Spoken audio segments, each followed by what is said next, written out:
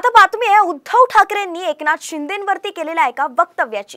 एकनाथ शिंदेंनी केलेल्या फाशीच्या दाव्यावरून उद्धव ठाकरेंनी चांगलेच ताशेरे ओढलेत.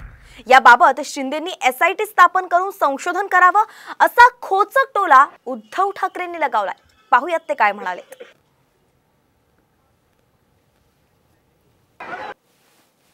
दोन महिन्यापूर्वी तीन चार महिन्यापूर्वी एक अशीच घटना घडली माझ्या बहिणी बरोबर आणि त्याला फास्ट ट्रॅक केसवर आम्ही चालवलं. स्पेशल वकील दिले एव्हिडन्स दिले.